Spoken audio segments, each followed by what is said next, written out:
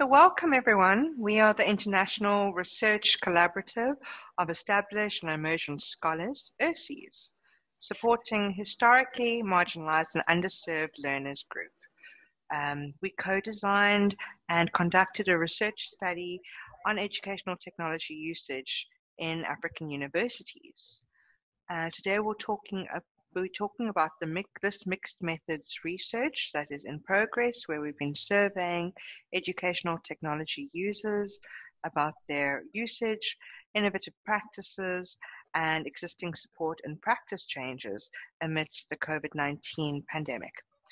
Uh, today, we're going to focus on our global, uh, global scholarly collaboration within our community of practice and reflections that will be of interest to those involved in culturally situated collaborative research online. So let's introduce our colleagues. Hi, everybody. I'm Alice Barlow Zambodla. I'm the Emerge Africa Research Support Convener and Network Development Consultant, and I'm based in East London, South Africa. Hello, I'm Dr. Hannah Grossman. I'm an instructional designer through UCLA at the National Center for Child Traumatic Stress, and I'm in the United States. I'm Dr. Nicola Pallitt, and I am based at Rhodes University in South Africa and part of the Emerge Africa team.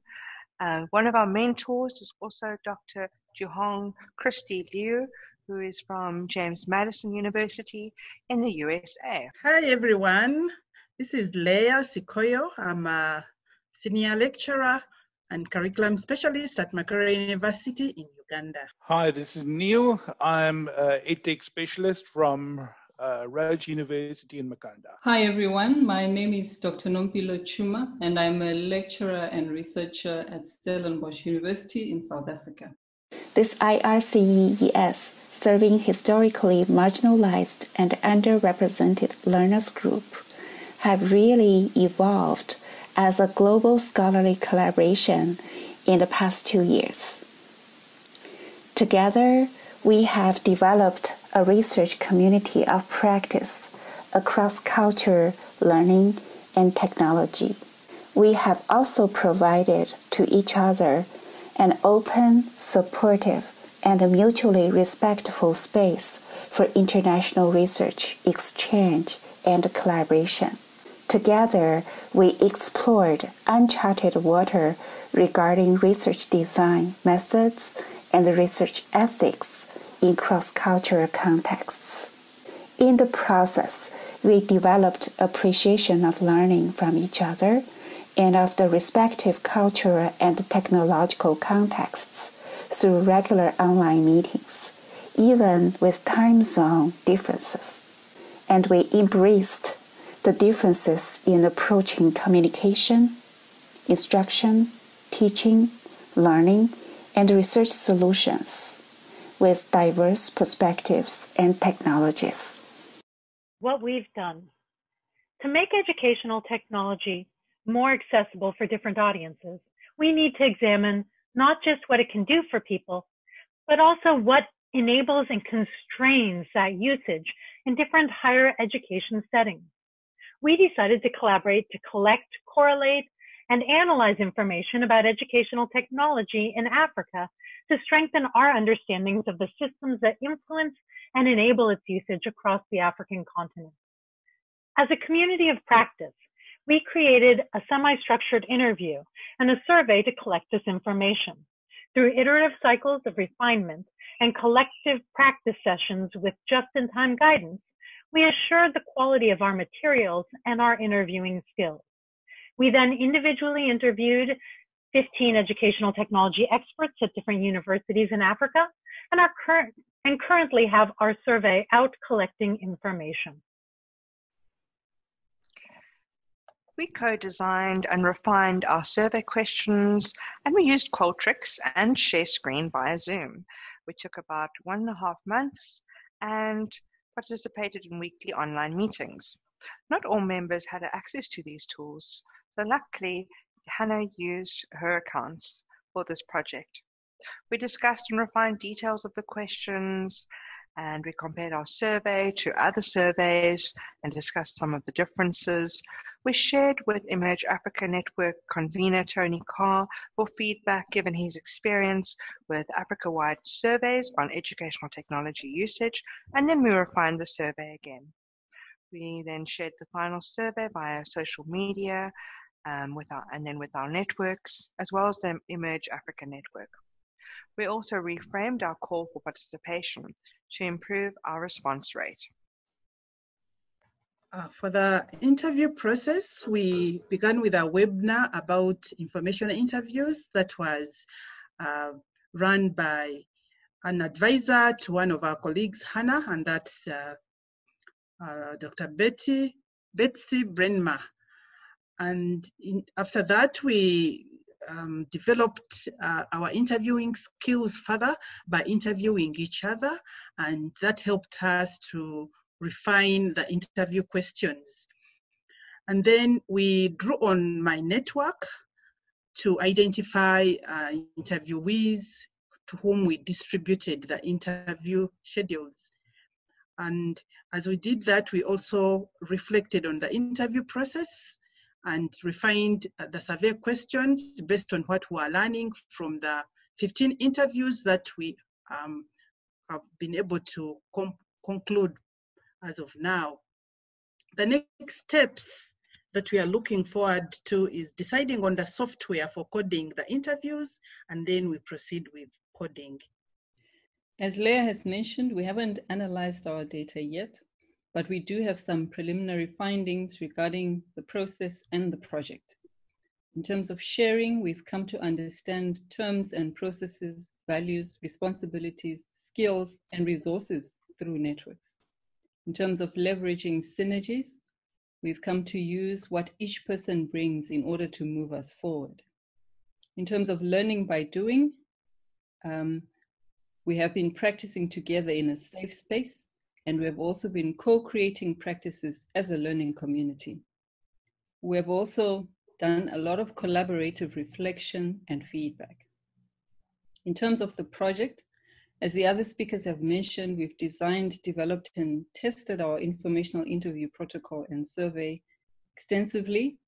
We've also conducted 15 informational interviews with researchers in South Africa, Kenya, Ghana, Nigeria, Uganda, Botswana, and Gambia at African universities. We've also collected surveys from 31 educational technology users so far at African universities. As a group, we also have some, some guiding principles that we had to sit and reflect around.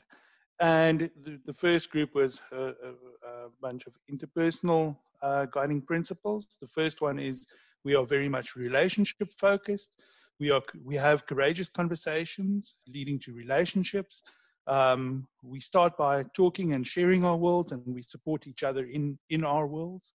We also have a safe and safe and supportive spaces. Um, we created a climate climate where people feel comfortable and capable of contributing and celebrating each other's achievements. Um, we also have a collaborative space. We understand that we have differences, um, but we do accept them and we honor those differences. Um, we also appreciate what people bring to the collaboration and we use a facilitated process instead of a hierarchical um, leading type of process. Um, and lastly, we also have a shared passion. We are all definitely individually motivated about the work, um, but we also appreciate each other's passions. Um, and with that, we've created a team spirit and we also recognize um, aspirational goals together. We also have come up with some guiding principles uh, based on our reflections that speak to the process. The process was not a particularly um, structured one. It did start out like that, but ended up uh, being collapsed into something that was more flexible, uh, taking into consideration the diversity of the group and therefore people's lives and the worlds that they were living and working in. A structure allowing uh, for growth. Um, the process has evolved. We've gone through various things that have resulted in us accepting and embracing growth and the change that comes with the process, trusting that the process will take us good places and leveraging the synergies um, that emerge as we journey together. In terms of application and being applied, we learn by doing so that we can practice and improve our individual skills by contributing to the group. We're also a very reflective group.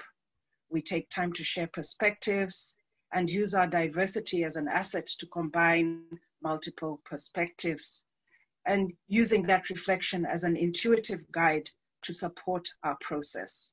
And of course, when you bring intuition into something like this and reflection, it can be time consuming, but it's worth it. And then, of course, we're a very diverse group in very different uh, contexts and situations. So we are very sensitive and aware of each other's contexts and work really hard at integrating uh, context into all that we do to create a shared understanding. We thought we would end by taking a second to collaboratively reflect about what we've learned from this process. For me, my biggest lesson was that collaborative work takes time and it's worth it to allow that time for the work to go in the richness and the depth that it can. Um, I learned about a trauma informed approach, which was something new to me. And I found that it was really useful and important to use it as we worked together and co created together collaboratively. I learned about cognitively scaffolding an interview so that you can help folks think through the process. And that can help our interviews to be less extractive. So I really felt that my interview skills improved? Uh, for me, I found it very meaningful and less stressful working in this very organic and evolving uh, process of collaboration rather than uh, hierarchical and uh, overly structured uh, way of collaborating. Okay, for me, it's the lack of collaboration that we do. Um, you know, it improved my reflexivity, um, and it it it it gave me a space to learn to incorporate others' perspectives in a safe space.